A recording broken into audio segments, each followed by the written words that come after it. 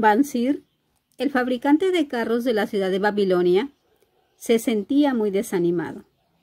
Sentado en el muro que rodeaba su propiedad, contemplaba tristemente su modesta casa y su taller, en el cual había un carro sin terminar. Su mujer salía a menudo a la puerta y lanzaba una mirada furtiva en su dirección, recordándole que ya casi no les quedaba comida y que tendría que estar acabando el carro, es decir, clavando, tallando, puliendo, pintando y extendiendo el cuero sobre las ruedas, de modo que estuviera preparado para ser entregado al rico cliente y pagado por éste. Sin embargo, su cuerpo grande y musculoso permanecía inmóvil, apoyado en la pared. Su mente lenta daba vueltas a un asunto al que no encontraba solución alguna. El cálido sol tropical, tan típico del valle del Éufrates, caía sobre él sin piedad. Perlas de sudor se formaban en su frente y se deslizaban inadvertidas hasta desaparecer en su pecho velludo. En la parte trasera, su casa estaba dominada por los muros que rodeaban las, terrazas del Palacio Real. Muy cerca de allí, la torre pintada del templo de Bel se recortaba contra el azul del cielo. A la sombra de tal grandeza se encontraba su modesta casa, y muchas otras menos limpias y cuidadas que la suya. Así era Babilonia, una mezcla de grandeza y miseria, y de cegadora riqueza y de terrible pobreza, sin orden alguno en el interior de las murallas de la ciudad. Si se hubiera, si se hubiera molestado en darse la vuelta, Bansir habría visto cómo los ruidosos carros de los ricos empujaban y hacían tambalearse a los comerciantes que llevaban sandalias y a los mendigos que iban descalzos. Incluso los ricos se veían obligados a meter los pies en los desagües para dejar paso a las largas filas de esclavos y de portadores de agua, a servicio del rey. Cada esclavo llevaba una pesada piel de cabra llena de agua que vertía en los jardines colgantes. Bansir estaba demasiado absorto en su propio problema para oír o prestar atención al ajetreo confuso de la rica ciudad. Fue el sonido familiar de una lira lo que le sacó de su ensoñación. Se dio la vuelta y vio el rostro expresivo y sonriente de su mejor amigo, Kobe el músico. Que los dioses te bendigan con gran generosidad, mi buen amigo, dijo Kobe a modo de saludo. Aunque me parece que son tan generosos que ya no tienes ninguna necesidad de trabajar. Me alegro de que tengas esa suerte. Es más, me gustaría compartirla contigo. Te ruego que me hagas el favor de sacar dos chequeles de tu bolsa, que debe estar bien llena puesto que no estás trabajando en tu taller, y me los prestes hasta después del festín de los nobles de esta noche. No los perderás, te los devolveré. Si tuviera dos chequeles, respondió tristemente Bansir, no podría prestárselos a nadie, ni a ti, mi mejor amigo, porque serían toda mi fortuna Nadie presta toda su fortuna ni a su mejor amigo. ¿Qué? Exclamó Kobe sorprendido. No tienes ni un chequel en tu bolsa y te quedas sentado en el muro como una estatua. ¿Por qué no acabas ese carro? ¿Cómo sacias tu hambre? No te reconozco, amigo. ¿Dónde está tu energía desbordante? ¿Te, ¿Te aflige alguna cosa? ¿Te han causado los dioses algún problema? Debe de ser un castigo que me han enviado los dioses, asintió Bansir. Comenzó como un sueño, un sueño que no tenía sentido. en el que yo creía que era un hombre afortunado. De mi cintura colgaba una hermosa bolsa repleta de pesadas monedas. poseía chequeles que tiraba despreocupadamente a los mendigos, monedas de oro con las que compraba adornos para mi mujer y todo lo que deseaba para mí. Eran tantas las monedas de oro que tenía, que incluso me permitían mirar con tranquilidad el futuro y gastar con libertad. Me invadía un maravilloso sentimiento de satisfacción. Si me hubieras visto, no habrías conocido en mí al esforzado trabajador, ni en mi esposa a esa mujer arrugada. Habrías encontrado en su lugar a una mujer con el rostro pletórico de felicidad, que sonreía como al comienzo de nuestro matrimonio. Un bello sueño, en efecto, comentó Kobe. Pero, ¿por qué sentimientos tan placenteros te han, te han convertido en una estatua colocada sobre el muro? ¿Por qué? Porque en el momento que me he despertado y he recordado hasta qué punto mi bolsa se encontraba vacía, me ha invadido un sentimiento de rebeldía. Me gustaría hablar de ello contigo, porque, como dicen los marinos, los dos remamos en la misma barca. De jóvenes fuimos a visitar a los sacerdotes para aprender su sabiduría. Cuando nos hicimos hombres, compartimos los mismos placeres. En la edad adulta, siempre hemos sido buenos amigos. Estábamos satisfechos de nuestra suerte. Éramos felices de trabajar largas horas y de gastar libremente nuestro salario ganamos mucho dinero durante los años pasados. Pero los goces de la riqueza solo los hemos podido experimentar en sueños. ¿Somos acaso estúpidos borregos? Vivimos en la ciudad más rica del mundo. Los viajeros dicen que ninguna otra ciudad la iguala. Entre nosotros se extiende esta riqueza, pero no poseemos nada de ella.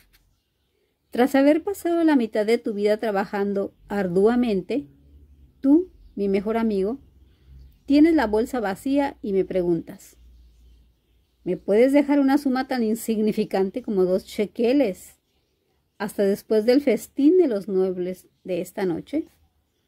¿Y qué es lo que yo te respondo? Digo, que aquí tienes mi bolsa y que comparto contigo su contenido. No, Admito que mi bolsa está tan vacía como la tuya. ¿Qué es lo que no funciona? ¿Por qué no podemos conseguir más plata y más oro? ¿Más de lo necesario para poder comer y vestirnos? Consideremos a nuestros hijos. ¿No están siguiendo el mismo camino de sus padres? También ellos con sus familias y sus hijos, con las suyas, habrán de vivir entre las acaparadores, ante los acaparadores de oro y se tendrá que contentar con beber la consabida leche de cabra y alimentarse del caldo claro. Durante todos estos años hemos sido amigos. Nunca habías hablado así, replicó Kobe intrigado.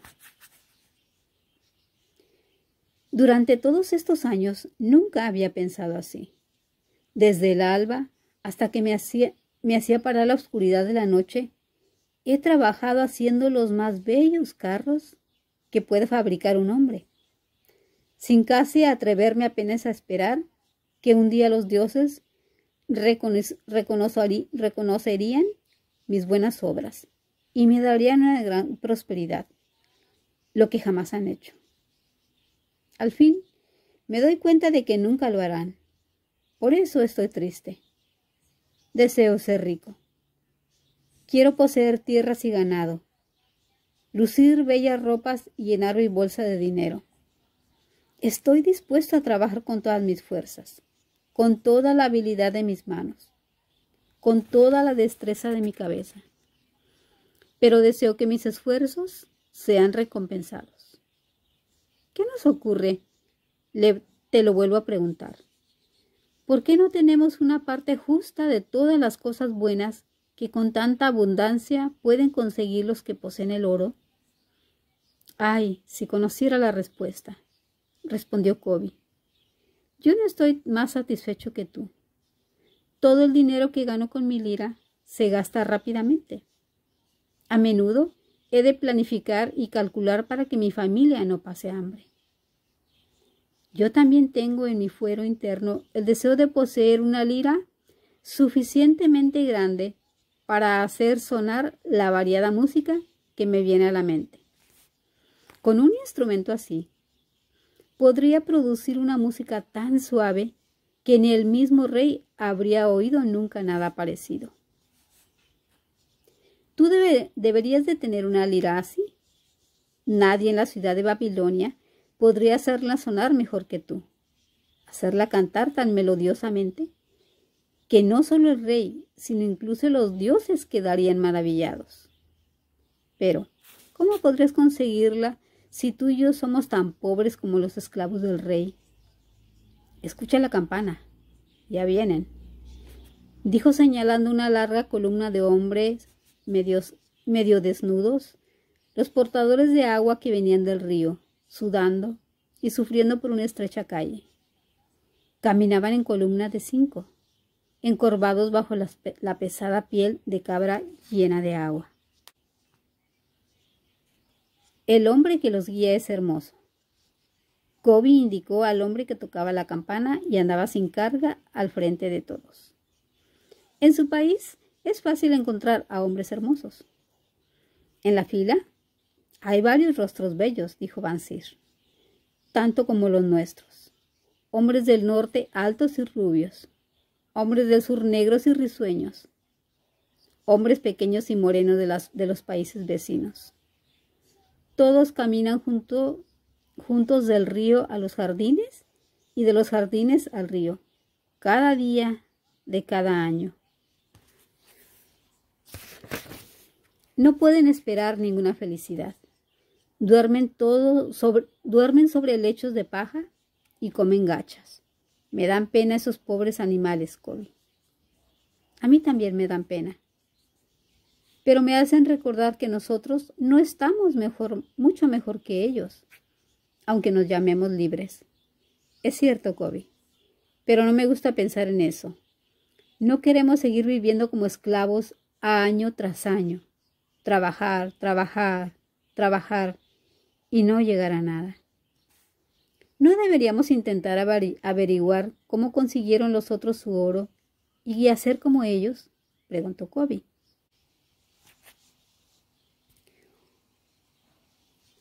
Tal vez haya un secreto que podremos aprender simplemente si encontramos a los que lo conocen, respondió Bansir pensativo. Hoy mismo, añadió Kobe, me he cruzado con nuestro, con nuestro viejo amigo Arcad, que se paseaba en su carro dorado. Te diré que ni me ha mirado, como algunos de los de su clase creen tener derecho a hacer. En vez de eso, ha hecho una señal con la mano para que los espectadores pudieran verle saludar y conceder el favor de una sonrisa amable a Kobe el músico. Sí. Dicen que es el hombre más rico de toda Babilonia, dijo Bansir. ¿Tan rico? Dicen que el rey recurre a su hora para asuntos del tesoro, contestó Kobe. ¿Tan rico? comentó Bansir, que si me lo encontrara de noche, estaría tentado de vaciarle la bolsa. Eso es absurdo, replicó Kobe. La fortuna de un hombre no está en la bolsa que lleva consigo. Una bolsa bien repleta se vacía con rapidez, si no hay una fuente de oro para alimentarla. Arcad tiene unos ingresos que, le mantienen su bolsa llena, gaste como gaste su dinero. Los ingresos, eso es lo importante, dijo Bansir. Deseo una renta que continúe alimentando mi bolsa, tanto que si me quedo sentado en el muro de mi casa, como si viajo a lejanos países. Arcad debe de saber cómo un hombre puede asegurarse una renta. ¿Crees que será capaz de explicárselo a alguien con una mente tan torpe como la mía? Me parece que enseñó su saber a su hijo Nomasir, respondió Kobe. Este fue a Nínive y según dicen en la posada, se convirtió, sin la ayuda de su padre, en uno de los hombres más ricos de la ciudad. Lo que acabas de decir ha hecho que se me ocurra una magnífica idea. Un nuevo brillo apareció en los ojos de Bansir. Nada cuesta pedir un sabio consejo a un buen amigo. Y Arcad siempre ha sido un amigo. No importa que nuestras bolsas estén tan vacías como el nido del halcón del año anterior. No nos detengamos por eso. No nos inquietemos por no poseer oro en medio de la abundancia. Deseamos ser ricos. Ven, vayamos a ver a Arcad y preguntémosle cómo podríamos conseguir ganancia por nosotros mismos. Hablas poseído por una auténtica inspiración, Bansir. Traes a mi mente una nueva visión de las cosas.